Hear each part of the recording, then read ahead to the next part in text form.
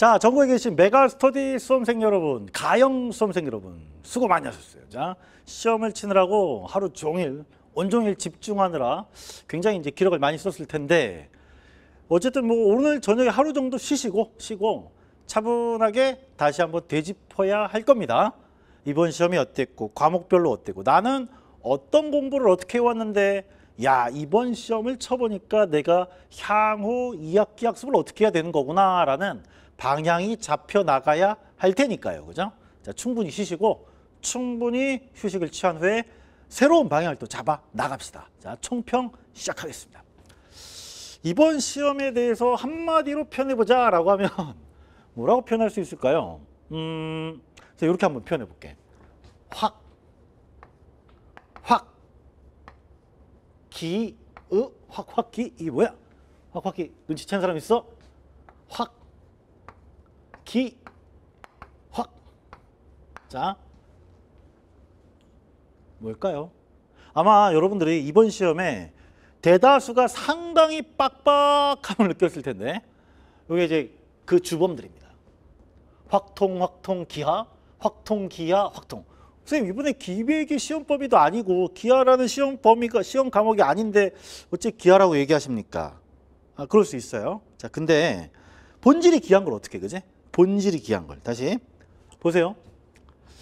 확률과 통계 문제가 여러분 17번, 18번, 19번의 지수함수 로그함수 그래프 건너뛰겠습니다. 자, 그 다음에 기하 이게 20번에 나왔죠. 도형급수로 나왔단 말이지.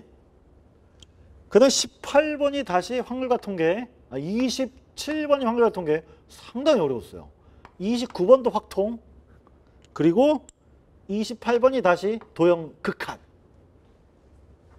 야, 이 여섯 개의 문제를 어떻게 지나갔느냐가 이번 시험을 규정했습니다.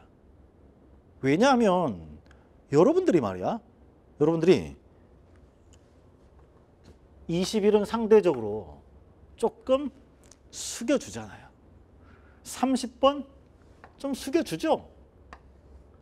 이, 이 8개, 사실 여기 12번도 하나 있다. 12번 어찌나 많이 틀렸는지. 자, 거듭제 구근의 정의 일단 지나가겠습니다.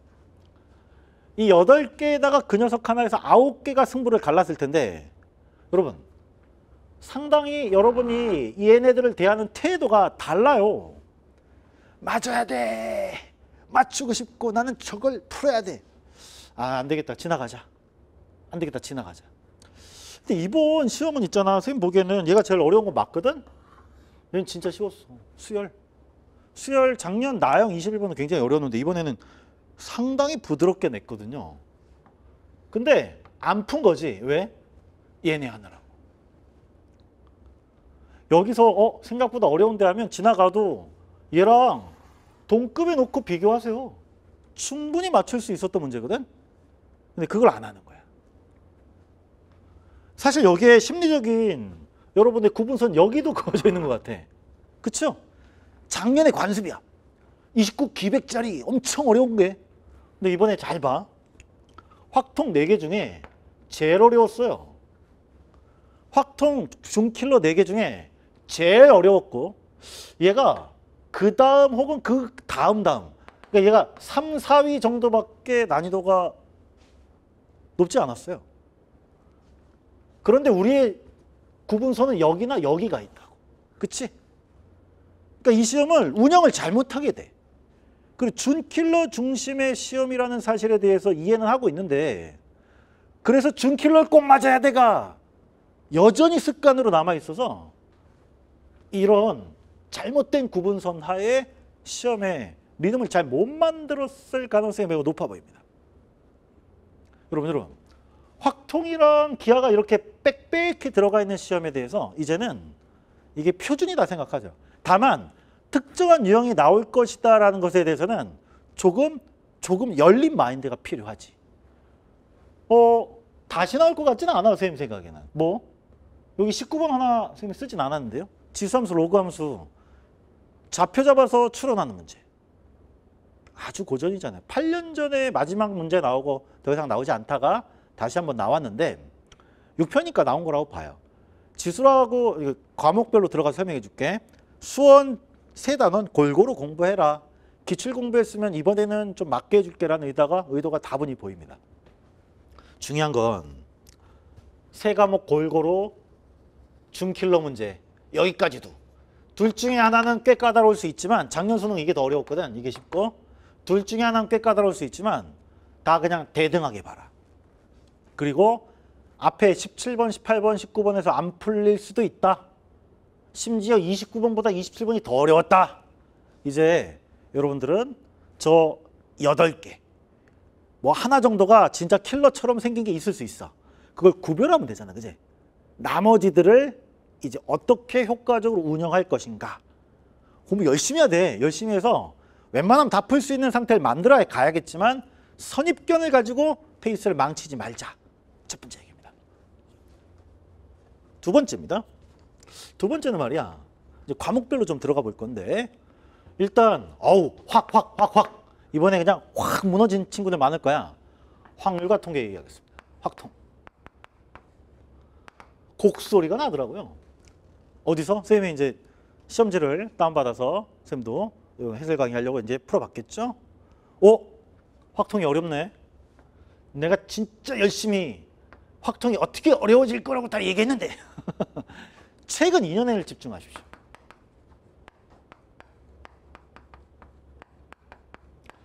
유독 최근 2년간 중킬러급 문제가 많이 나왔어요. 한 10개 있습니다.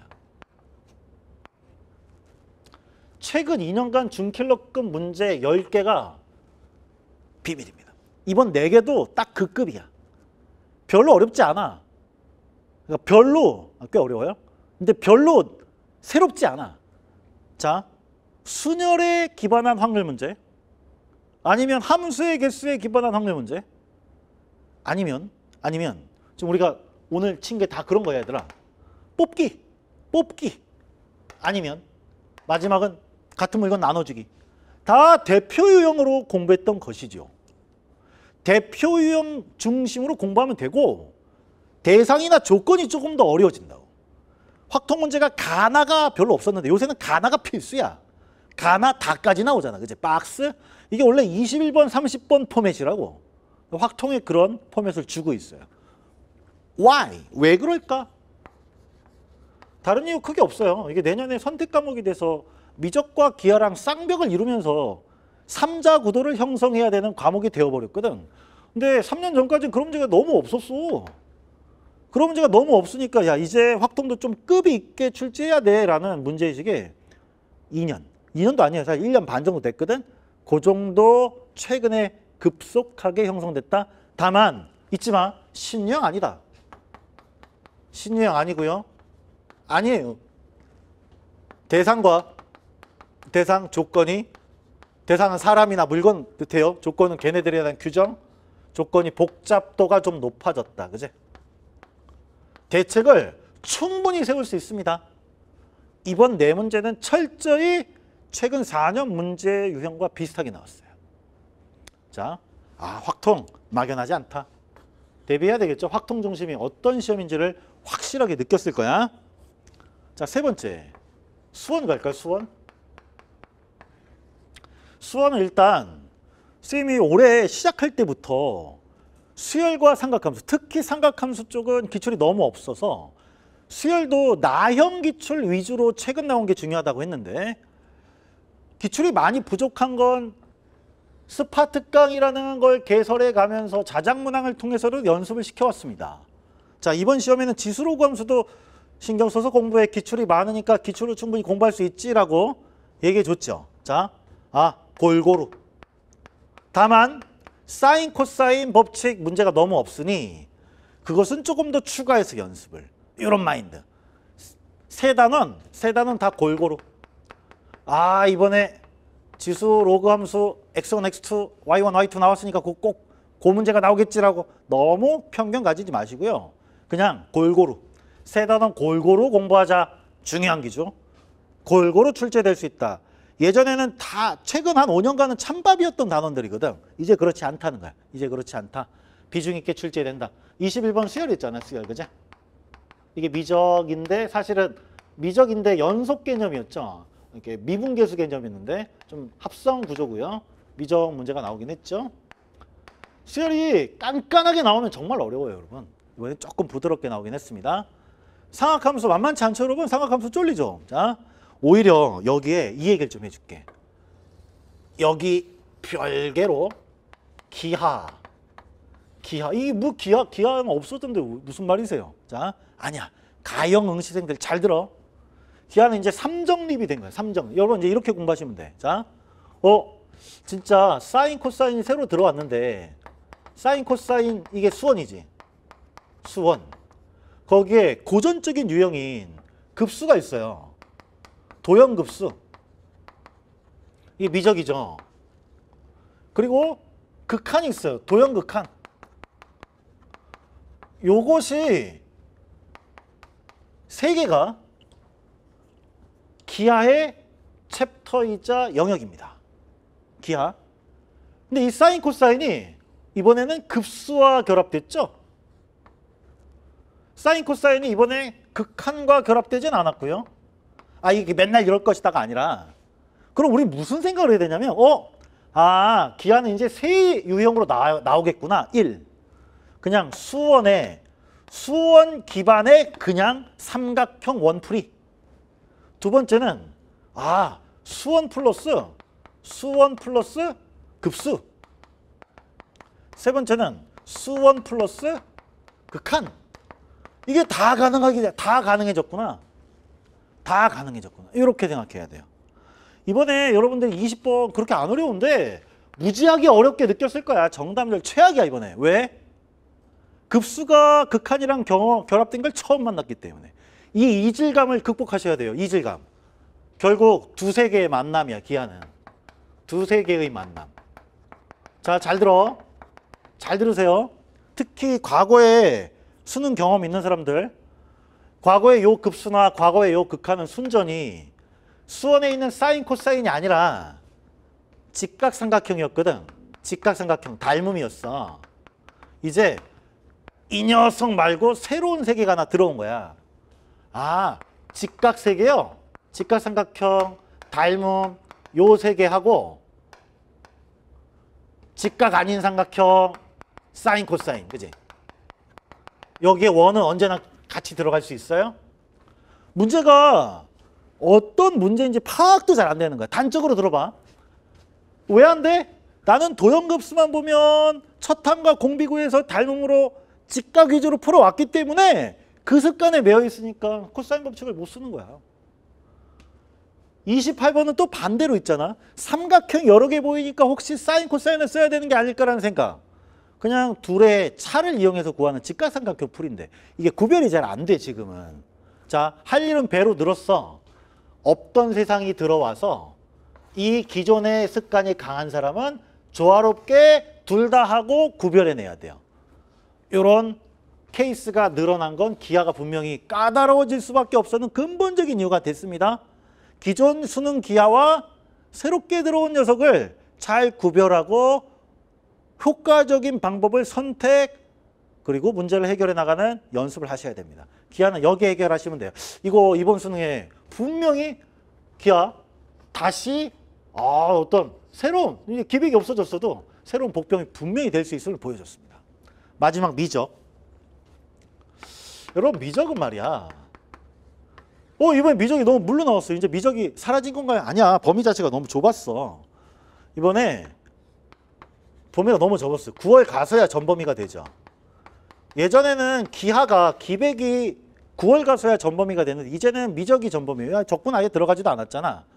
게다가 미분도 활용의 초입까지만 들어갔어요. 그래서 미분이 상당히 소소하게 나온 거지.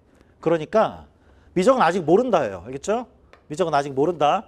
과거 기출됐던 거 충실히 공부하면서 미적은 그냥 꾸준히 학습량을 유지할 필요는 있습니다. 방심근물이야. 방심근물. 자, 이번에는 확통과 수원에서 어떻게 난이도가 높아질 수 있는지를 제대로 한번 경험해 본 시험이 있다고 생각하시면 딱 좋을 것 같아요. 과목별로 특징 다 살펴드렸고 자 정리합시다. 여러분 6평은 6평일 뿐 진짜 중요한 건 수능이다는 말 들어봤죠? 자 맞는 말이야. 하지만 그것은 진짜 육평을 제대로 준비하고 열심히 열심히 친 사람에게 돌아갈 말이에요. 지금까지 내가 만약에 공부를 조금 느슨하게 했다면 향후 학습이 그냥 메인 학습이 되는 것이고 육평은 출발점이 되겠죠. 다만 지금까지 열심히 한 친구들 너무 육평 결과에 일희일비하지 말고 새로운 방향을 잡는 나침반의 기능을 하는 것이다. 아주 이 식상한 말이지만 이것만큼 진리인 말이 없어. 그 말 잊지 마시고 이 점 명심하시고 향후 학습 계획 짜는데 선생님 캐스트 방향 잡아준 거 참고하시고 그냥 거침없이 거침없이 내일부터 다시 공부 시작합니다. 알겠죠? 자 그러면 얼마 머지않아 수능 날이 와요. 어느 해보다 힘든 시기인데 뚜벅뚜벅 걸어간 자 승리할 거다. 알겠지? 자 열심히 또 한 길로 나아갑시다. 여러분 정말 수고 많이 했어요. 강의에서 또 계속 만나겠습니다.